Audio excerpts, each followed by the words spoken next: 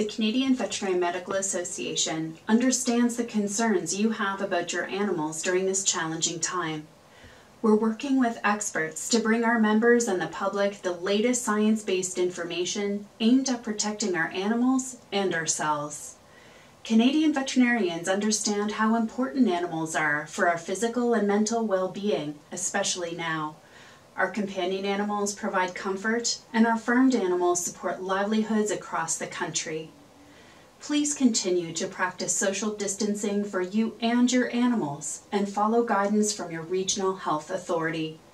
On behalf of the CVMA, I would like to thank our veterinary teams who are striving to safely deliver essential services and work closely with owners and producers to keep our animals healthy. Please visit the CVMA website at canadianveterinarians.net for more information.